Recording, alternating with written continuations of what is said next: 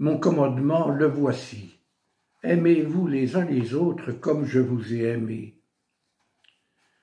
C'est après le dernier repas, Judas a déjà quitté la salle, Jésus sera arrêté dans la nuit.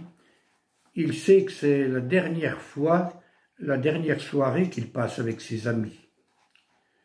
Dans cet entretien après la scène, il nous livre le cœur de son message, ses liens très profonds avec son Père et avec l'Esprit qu'il promet d'envoyer, ses liens avec nous, le sens de sa vie et de sa mort toute proche, et ici le sens à donner à notre vie, l'essentiel de la vie chrétienne. Aimez-vous les uns les autres comme je vous ai aimé. Ce n'est pas une leçon de morale, c'est une déclaration d'amour et un appel à aimer.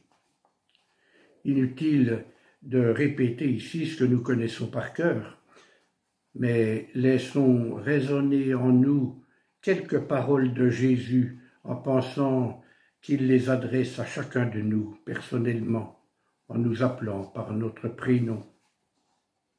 Première parole, comme je vous ai aimé. Jésus me dit, je t'aime, toi tel que tu es.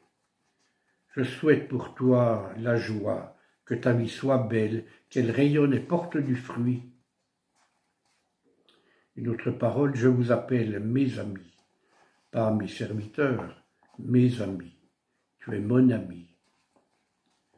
Une autre parole, c'est moi qui vous ai choisi, ce n'est pas vous qui m'avez choisi, c'est moi qui ai fait les premiers pas.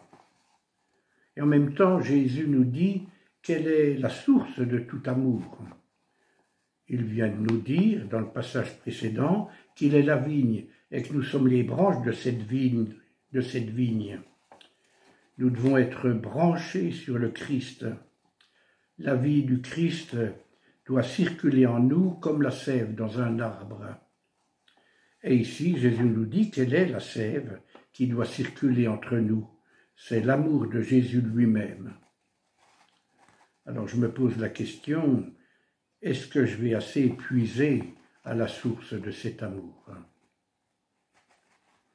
Une dernière phrase que je voudrais souligner, je vous ai choisi et établi pour que vous alliez, que vous portiez du fruit.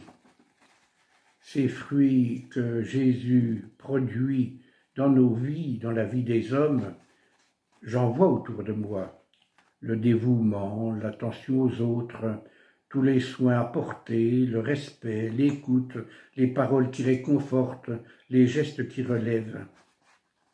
Est-ce que ma vie produit du fruit?